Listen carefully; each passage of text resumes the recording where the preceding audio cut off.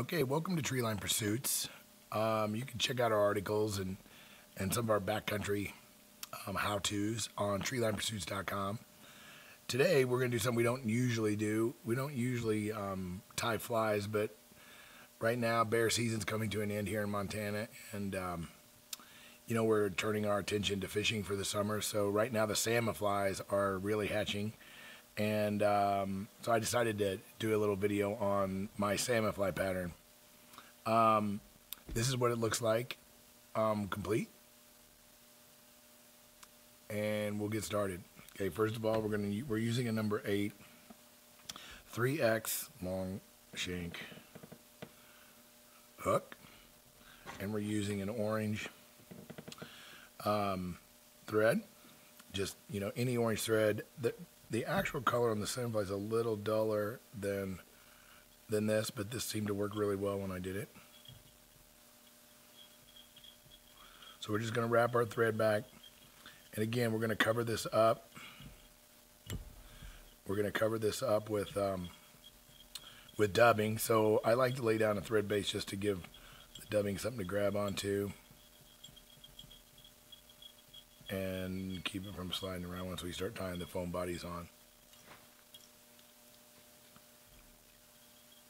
Okay, so now we're going to use a little bit of, um, it's a burnt orange with just a little bit of flash in it. It's a really nice dubbing for this fly. We're going to put it on pretty liberal because we're going to, this is a big fly. So we're going to um, Put a nice long thread on here. We're going to wrap that up. Go back right to the bend of the hook and then we're going to come forward. Again, we're putting it on fairly thick. Not too woolly, but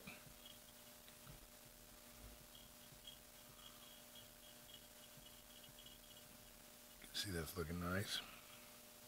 These flies are fishing really well right now. It's June. It's around June 15th here in Montana. The flies were they were out in droves the other day.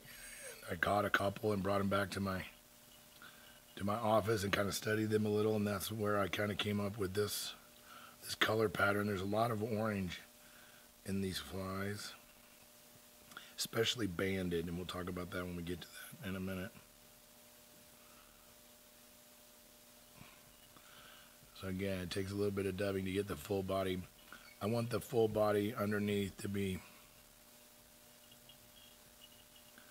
So again, we're going to just kind of tighten up here at the eye, and then we're going to come back with wide segments throughout the body. Come back to the body.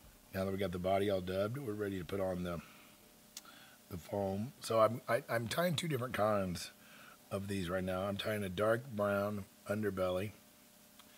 And then I've got one with a tan top and one with an orange top. So we've tied quite a few tan ones, so we'll just do the orange one now. This is pretty thick foam and you have to pull a little bit hard. So once in a while your thread will break, but um, if it does break, I'll show you a little tip that I use. So you tie it on here where you've got a pretty decent for the extended body, and then you've got the rest up for the head. So then you just go at an angle to the tail and, and around, pull it a couple times, and an angle.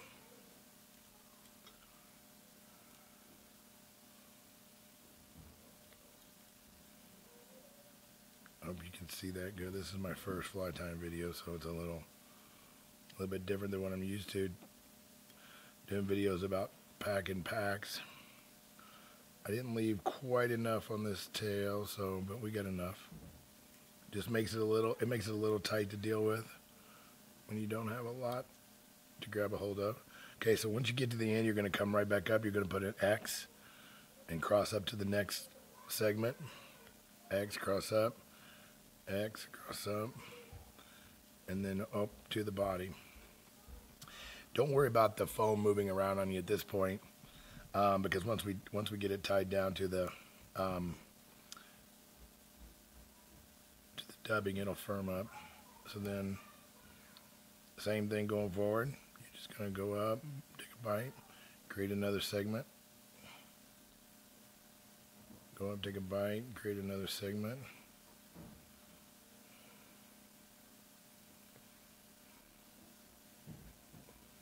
Bite, segment.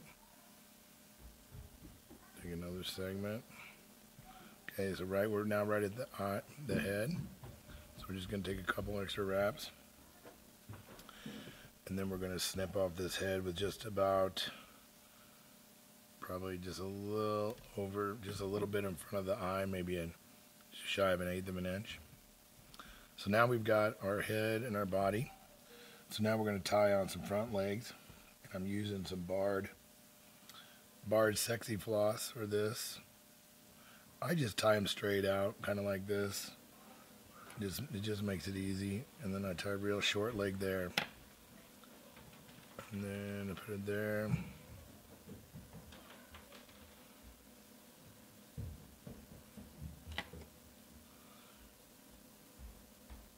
And then real short leg. Okay, so then we just come back again, a couple of segments, two segments, and then we're going to tie in the second set of legs. I tie them a little bit lower on the body, so they hang down just a little bit.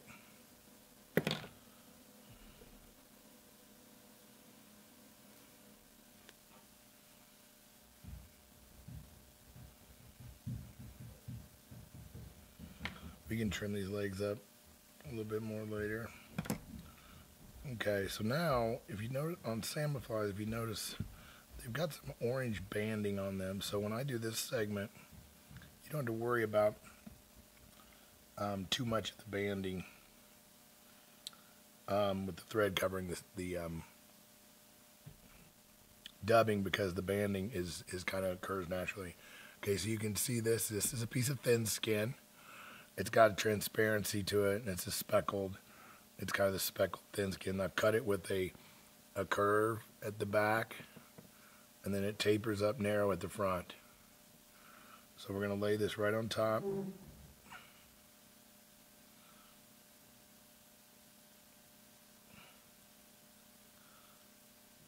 It gives it a skin look, but it also gives it that wing at the same time. So now, once we get that, we're going to come back up. We're going to cross up again to the next segment.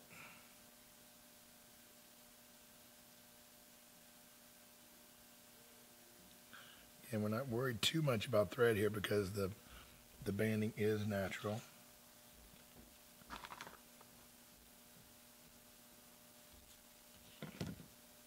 So then we're going to take some gray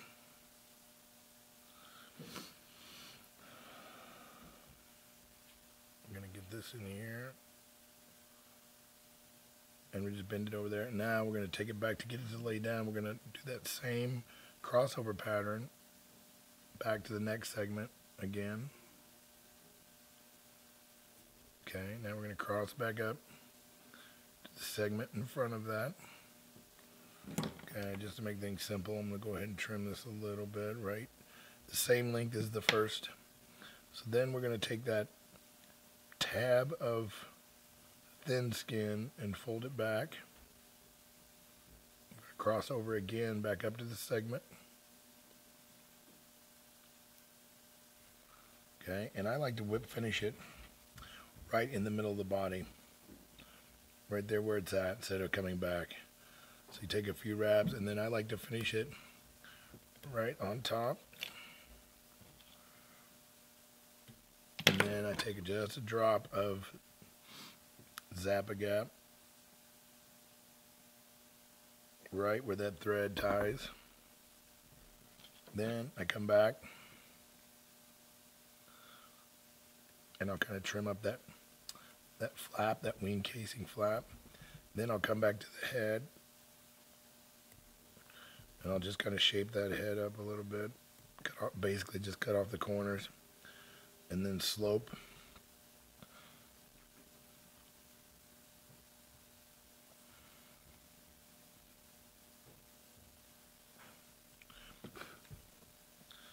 Got some foam and my glue there. Okay, so now my legs are looking fine. They're a little crazy there. Straighten out my legs. And there you have it. The Montana salmon fly.